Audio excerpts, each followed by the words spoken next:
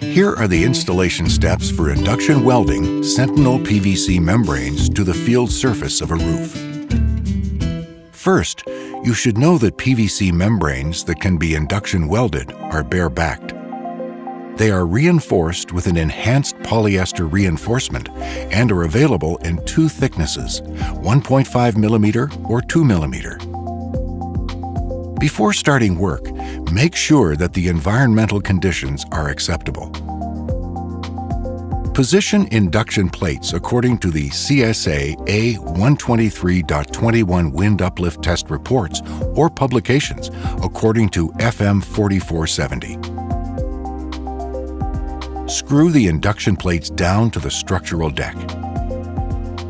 Make sure the plates are pressed firmly against the support, but be careful not to over-tighten them or the plates could dig into the support panel and become difficult or impossible to induction weld.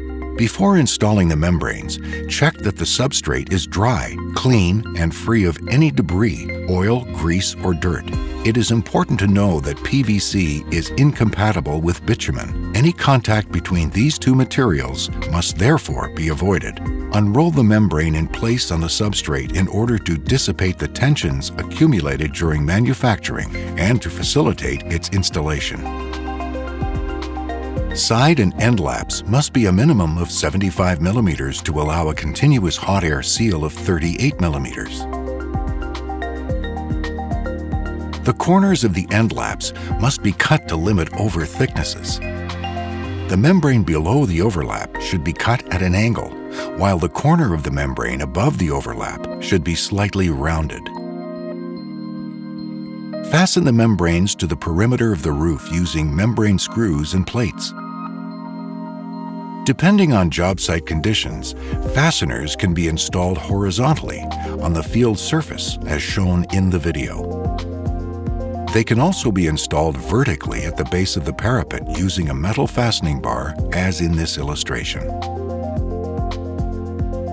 About induction welding, you should know that test welding should always be carried out before starting to use the machine on roofing membranes. Weld at least three plates using different settings for each. Once the plates have cooled, pull the membrane so as to tear it away from the plates. Once the membrane is removed, consider which of the settings best suits the job site conditions. A satisfactory weld is produced when the PVC detaches uniformly from the reinforcement, leaving a residue of PVC stuck to the plate. You are now ready to weld the PVC membranes on the induction plates of the roof. Using a specialized induction magnet, locate the plates under the membrane. Center the induction machine on the plate you have located and activate the induction welding machine. Do not move the machine until the end of the welding cycle. When the cycle is complete, Remove the machine and immediately place a magnet on the plate until it is cooled down. Repeat these steps on all the plates on the roof. Now let's see how to treat membrane overlaps. The use of a welding cart and an electric hot air welder will be required. First of all, we recommend that you perform test welding each time your welding equipment is stopped and restarted or when there is a change in climate conditions. To do so, turn on your device and wait until it reaches the desired temperature. Use membrane scraps and weld them together. Once the sample has cooled, pull the two pieces of membrane apart. A satisfactory weld is produced when the PVC uniformly delaminates from the reinforcing fabric and has a minimum width of 38 millimeters. Before welding the joints, be sure to clean them thoroughly with a non-greasy cleaner. You are now ready to weld all overlaps using an electric hot air welding cart. Use the hot air welder for tighter spots and details.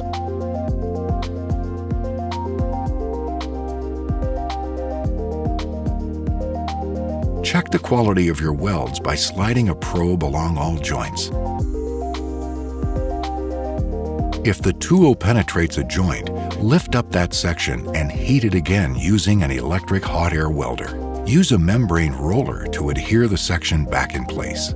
If you feel that the zone is still not well sealed, weld a piece of membrane to cover it. At intersections of more than three layers of PVC membranes, weld Sentinel T-joint patches. That's it. Those are the installation steps for induction welding Sentinel PVC membranes to the field surface of a roof.